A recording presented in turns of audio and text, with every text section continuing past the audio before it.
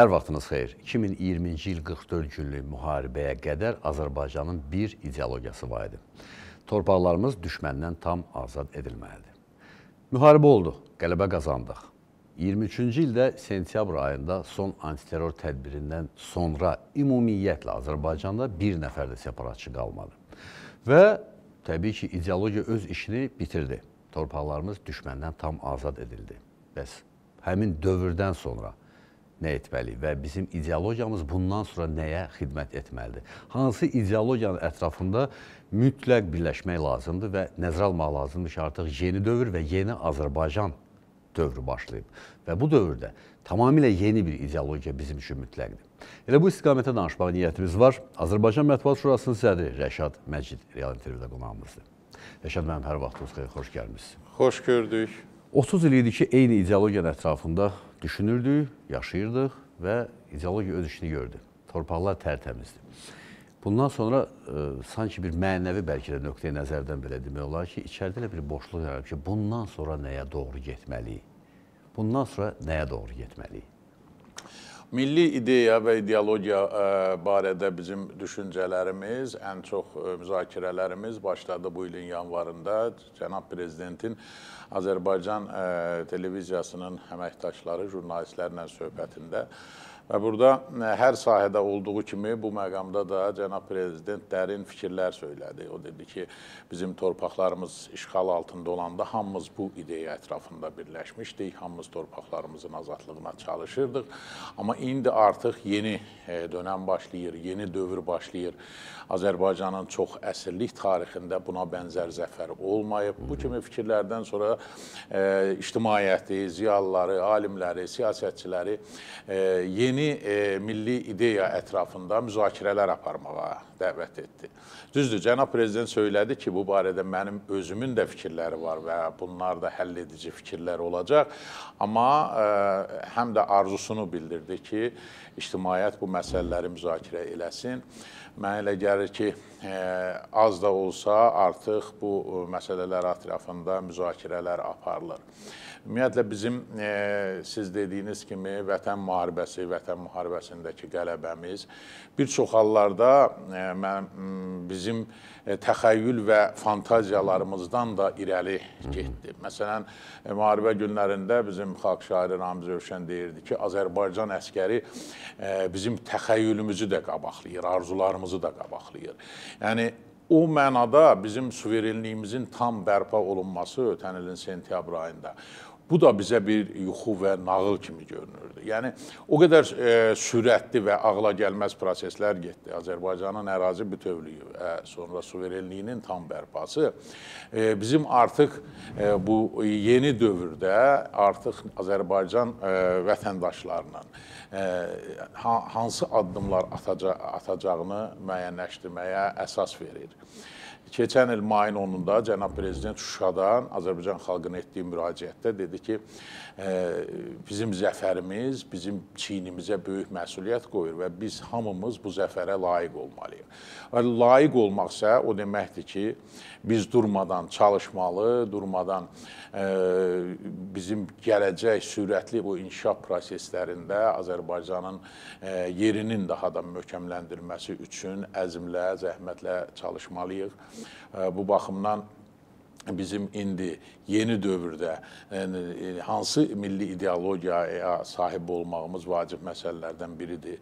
Elə bilirəm ki, bu cənab prezidentin dediyi və demədiyi müəyyən addımlar var ki, o da bunun ipuçlarını verir. Məsələn, vaxtı ilə e, Qarabağ icmasının yerləşdiyi bina e, Qarabağ işğaldan azad olunandan sonra Qərbi Azərbaycan icmasına verildi. Mən tez-tez o binaya gedirəm və Qərbi Azərbaycanla bağlı tarixi sənədlər, şəkillər elə bilirəm ki, milli ideologiyanın bir hissəsi məhz e, bununla bağlıdır. Bizim vətəndaşlarımızın tarixi torpaqlarına dönməsi, öz ata-baba yurtlarına qayıtması bizim milli ideyanın içərisində əsas məqamlardan biridir.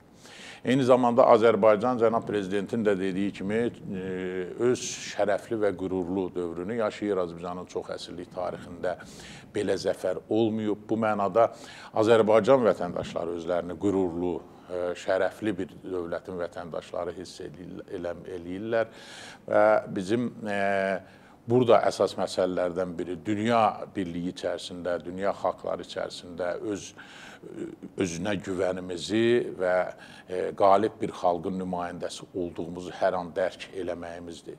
Şübhəsiz ki, burada e, Azərbaycanda sosial e, rifahın güclənməsi və insanlarımızın hamısı bir vətəndaş məmnunluğu hiss etməsi də əsas amillərdən biridir.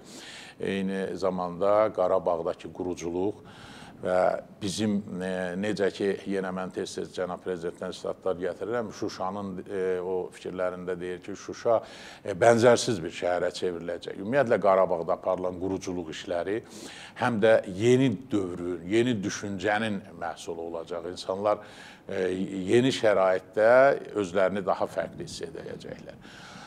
Bizim e, ara sıra e, məğlub vaxtında bunu bəlkə də əsaslandırmaq olardı. Məğlubiyyət dövründə iş torpaqlarımız işğaldan azad olanda biz komplekslər keçirilirdik. E, bədminlik hissləri e, bizi daha çox çulğayırdı. Amma qələbədən sonra biz özümüzə güvənimiz artıb və biz e, öz e, xalqımızın və millətimizin nəyə qadir olduğunu dərk edəndən sonra artıq e, dediyim kimi hər sahədə hər kəs öz sahəsində ən peşəkarlığı, ən böyük belə fədakarlığı göstərməlidir. Və özümüzü də heç kimdən əskik hesab eləməməliyik və bir qalib ölkənin vətəndaşı olduğunu dərk eləməliyik. Hər fürsətdə keçmişdən qalan o özünə qarşı tənqidi və yaxud özünü aşağılamaq meylləri sıradan çıxmalıdır. Bu baxımdan mən hesab edirəm ki, Azərbaycan ictimaiyyəti, ziyalıları həqiqətən də cənab prezidentin dediyi kimi bu məsələlər ətrafında ciddi düşünməli, müzakirələr aparmalı, fikirlərini bildirməlidirlər. Və biz e, heç şübhəsiz ki, bu həlledici, özünün dediyi kimi həlledici addımlar və fikirlər cənab prezidentin həm gördüyü işlərdir, həm e, o müsahibələrində, müraciətlərində dediyi fikirlərdir ki, bu məsələlər də Azərbaycan e, siyasətçilərinin, politoloqlarının, ziyalılarının gündəmində olmalıdır. Bir məqam da var Rəşad müəllim, ona baxıram söhbət nə gedir. Konkret olaraq düşmənimiz bəlidir, hələ ki hələ də özünü düşmən kimi göstərirlər. Söhbət həm separatizmə meyilliyi hələ də var içərilərində, həm revanşist ideyası var və eyni zamanda Avropanın da bir sıra qüvvələri konkret olaraq bu qalibiyyətimizi istənilən halda həzm eləyə bilmirlər. Deməli, bizim söhbət təkcə bir yox, bir neçə düşmənimizdən gedir və istənilən məqamdan istifadə edib Azərbaycana qarşı hansısa bir istər siyasi, istər digər başqa bir formada sanksiyaların həyata keçirilməsinə doğru can atırlar. Yəni düşmənimiz az deyil. Bu özü Azərbaycanda hansısa bir yeni ideologiyanın yaranmasına təkan verə bilərmi? Qəbul eləmirlər bizi və biz mütləq özümüzü qəbul etdirməliyik. Bu ə, indi ə, məsələn 25-30 il əvvəlki dövr deyil, hansısa ə, niyyətləri, demokratiya, söz azadlığı, digər cürə pərdələmək mümkün deyil. İndi artıq hər şey ə, aydındır, üzə çıxıbdır. Məsələn 30 il əvvəl Azərbaycanla bağlı hansısa ə, məkirli siyasətlərini hə, həyata keçirmək üçün hansısa terminlərdən istifadə edilirdisə, bu gün artıq açıq göstərilir ki, bizə niyə qısqanırlar bizi, niyə e, istəmirlər və niyə bizi özlərinə düşmən görürlər. Bu mənada siz bizim açıq və gizli düşmənlərimiz çoxdur. Və bizim e, nümayəndə heyətinin Avropa Şurası Parlament Assambleyasında fəaliyyətini dayandırarkən mənim yadıma 1998-ci ildə ilk dəfə deməli ha. jurnalist kimi orada iştirak etməyim düşmüşdü və e, mən çox təəccüblənmişdim ki, bəzi e, parlamentarilərin dilindən e, Avropa xristian Avropası olmalıdır, Avropa kənar qüvvələri yaxın qoymamalıyıq kimi düşüncəli insanlar var idi və bəziləri bunu açıq deyirdilər, bəziləri gizləsələr də hər halda e, siyasətlərində üzə çıxır. Bu gün e, həm e, müxtəlif ölkələrin Azərbaycana qarşı düşmənçilik aparmasında e, bu məqamda xüsusi yer tutur. Bu baxımdan İndi dünya dəyişib və bizim e, cənab prezidentin də söylədiyi kimi ən e, rahat yerimiz türk ailəsidir. İndi Türk Dövlətləri Birliyi yaranıbdır. İndi Azərbaycan müxtəlif e, siyasi təşkilatlarda, qoşulmama hərəkatında, İslam e, Birliyi təşkilatlarında öz e, möhkəm yerini e, müəyyənləşdiribdir. Bu baxımdan e, mü mümkün təsirlərə qarşı birlik, vahidlik e, ideyası olmalıdır və e, düşmənlərin məkirli niyyətləri artıq əvvəlki kimi hansısa ə, pərdələnən ə, terminlərlə ə, gizləmək mümkün deyil. Açıq-aşkar indi hər şey ə, göz önündədir. Bu baxımdan dediyim kimi birinci dərəcədə bizim ə, xalqımız ayıq olmalıdır və ə, bütün bu proseslərin mahiyyətinə dərindən bələd olub bir ə, yumruq kimi birləşməlidir və bizim gələcək uğurlarımız elə bilirəm ki, davamlı olacaq və Azərbaycan xalqı daha böyük uğurlar qazana biləcək.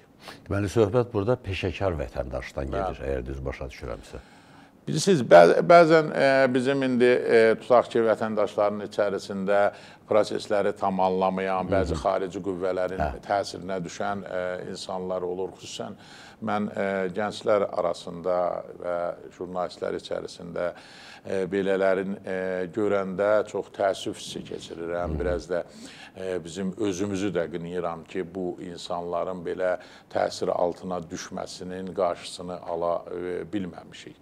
Yəni düzdür, indi elə bir dövrdür ki, indi kommunikasiya imkanları genişlənib, xaricdən hər hansı tutaq ki, məhdud düşüncəli insanlara təsir eləmək və yaxud e, hansısa insanları e, səhv ideologiya ilə yönləndirmək indi mümkündür və bunu da peşəkarcasına bizi istəməyən qüvvələr istifadə edirlər və bunun qarşılığında e, bizi nə saxlaya bilər, nə sipər ola bilər. İlk növbədə şübhəsiz ki, güclü milli ideologiya, güclü milli ideyalar ətrafında birləşmək, özümüzün e, üstünlüyünü, e, özünə güvənimizi e, hiss etmək və bununla da e, bu proseslərdən e, uğurla çıxmaq. Və mən e, Azərbaycan xalqının həmişə fərd halında da güclü olduğuna, ayrı-ayrı bizim insanlarımızın böyük uğurlar qazandığına əmin olmuşam. Bizim vətən müharibəsi göstərdi ki, biz e, birlikdə də e, millət olaraq, xalq olaraq da e, birləşə bilirik böyük ideyalar ətrafında və indi cənab prezidentin dediyi kimi Azərbaycan tarixinin ən şərəfli və qürurlu dövrünü yaşayır. Bu dövrdən də üzü ağ çıxmaq üçün şübhəsiz ki, bizim hər bir vətəndaşımızdan böyük ayıqlıq, sayıqlıq və böyük peşəkarlıq və zəhmət tələb olunur. Biz qalib gəldik. 30 il idi ki, içimizdə bir əzginlik var idi və bu ə, qanımıza hopub və ondan çıxmaq ümumiyyətlə götürəndə elə də asan deyil, hər halda bu hiss olunur. Qalib olandan sonra yeni milli ideologiya mən belə başa düşürəm ki, qalibiyyətin əsasında qurulacaq. Bunun üçün vətəndaş olaraq həmin o peşəkar vətəndaş içindəki o ağrını, acını, niskili və s. və axır bir kənara qoyub əsl qalib olduğunu anlamalıdır. Bunun üçün birinci addım olaraq nə etməliyik ki, şəxs, vətəndaş özünü konkret qalib hiss etsin və ondan sonra artıq onun yeni ideologiyaya keçidi, transformasiyası məncə daha asan ola bilər. Bilirsiniz, bayaq da mən dediyim kimi bizim e, torpaqlarımız 30 il az müddət deyildi və 30 ildə torpaqların işğal altında e, qalması e, siz, dediyiniz kimi mə, mənəvi əzginlik, özünə güvənsizlik hissləri yaradırdı. Və bir çox bizim bu, gün baş verən hadisələr, məsələn, suverenliyimizin tam bərpası, Xankəndinin separatçılardan tamamilə təmizlənməsi, düzünü desək, bəzən heç insanlarımızın xəyalına da gətirə bilmirdilər. Yəni bu mənada e, bizim e, deməli ordumuz, bizim dövlətimiz elə hadisələri reallaşdırdı ki, bunu e, bir- kiçik zaman kəsimində həzm etmək də biraz çətindir. Biz buna görə məsələn e, işğaldan azad olunmuş, separatçılardan təmizlənmiş məkanlarımıza gedirik. Məsələn mən keçən dekabrın 21-də e, Xan kəndində Qarabağ və Ordu oyununun e, deməli futbol oyununa baxdıq və orada e, Şuşada doğulmuş e, Fəxrəddin xalq artisti Fəxrəddin Mənafovla gəzdik. Amma yenə də hiss eləyirsən ki, bu hələ sənə biraz hardasa xəyal kimi görünür, biraz yuxu kimi görünür. Doğrudan da e, bu təsəvvür edin ki, 30 ilin ağrıları və sonra sənin bu sevincin bir, bir belə fikirləşsən ki, bəlkə heç bu reallıq deyil, e, yuxu kimi gəlir adama.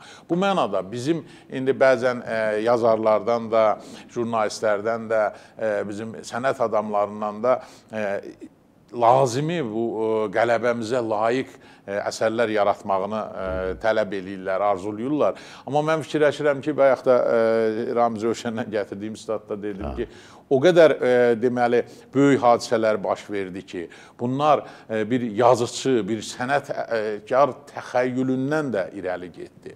Və bu baxımdan bizim indi e, birdən-birə e, bütün e, məsələlərdə o keçmiş sınıqlıqları, qırıqlıqları kənara atıb tam e, belə e, güclü e, bir insana çevrilməyimiz də vaxt məsələsidir. Və bu bu baxımdan elə bilirəm ki, bizim hamımızdan bütün sahələrdə e, olan e, bizim e, insanlardan e, məhz tələb olunur ki, öz sahələrində e, peşəkar fəaliyyət göstərsinlər və Azərbaycanın gələcək e, uğurları üçün e, gücləri çatan addımları atsınlar. Onda belə düşünmək olarmı ki, yeni ideologiyamız ə, nə dinin, çünki Azərbaycanda dini konfessiyalar var və onlar bərabər fəaliyyət göstərir, nə ə, hansı bir konkret millətçiliyin üstündə qurulmayacaq. Çünki Azərbaycanda millətlərin də sayı az deyil. Burada hansısa yeni bir ideologiya var ki, hətta onun ətrafında düşünəndə belə biraz insan çətinlik çəkir. Bilirsiniz, bu çox müzakirələr nəticəsində ortaya çıxacaq da. Birinci mən dediyim kimi şübhəsiz ki, bizim e, tutaq ki, e, tarixi torpaqlarımız və tarixi torpaqlarımızın e, müza qayıdış e, bizim ideyalardan biri olmalıdır. Sonra sosial rifah məsələsi, Azərbaycanda insanların e, vətəndaş məmnunluğu hiss etməsi. Hə. Bu baxımdan indi siz deyirsiniz, həm e, müxtəlif dini e, təmayülli insanlar, e, bunların e, Azərbaycanda rahat yaşaması üçün həqiqətən də e, belə münbit bir şərait olub. Bizim həm bir xalq olaraq tolerantlığımız, e, mən indi e, müxtəlif ölkələrdə müxtəlif din nümayəndələrinə qarşı aqressiv münasibətləri biz heç vaxt Azərbaycanda görməmişik və vaxtı ilə hətta bizim düşmən millət də bizim içərimizdə rahat ya yaşayıbdı. Bəzən mən fikirləşirdim ki, bu bu məsələlər bəlkə bir millət olaraq bizim zəif yerimizdir. Amma əslinə qalanda bizim milləti güclü eləyən məhz bu tolerantlığımızdır, dözümlülüyümüzdür. Başqa ə, dinlərə, başqa düşüncəli insanlara qarşı ə, ə, tolerant yanaşmağımızdır. Bu baxımdan bizim xalqımızın elə üstünlüyü də burdadır. Bax, bu baxımdan Azərbaycan ən cəlbedici ölkələrdən birinə ə, çevriləcək. Hı -hı müxtəlif mənim səfərdə olduğum tutaq ki, İslam ölkələri keçən Səudiyyə Ərəbistanında olmuşdum. Orada da böyük dəyişikliklər gedir, böyük e, neft pulları e, həm də e, siyasi proseslərdə də dəyişikliyə gətirib çıxarır. Amma Azərbaycanda neftin insan kapitalına çevrilməsi və e, sosial rifahın güclənməsi məsələləri elə bilirəm ki, hamıdan başqa ölkələrdən üstün olacaq və Azərbaycan e, yeni dövrdə də Azərbaycan Azərbaycan xalqı öz qürurlu və şərəfli addımlarını atacaqdır. Minnətdaram sizə Rəşad müəllim, çox sağ olun. Azərbaycan Mətbuat Şurasının sədri Rəşad Məcid real intervyuda qonağımız idi. Salamat qalın. Əsası odur.